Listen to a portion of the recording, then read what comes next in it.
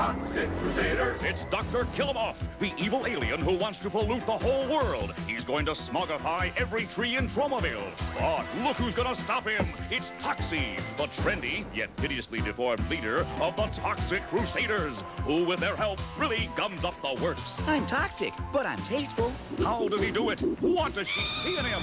Where did he get that tutu? Toxic Crusaders. They're proud, But they still get girls. Hideously deformed action figures from Playmate.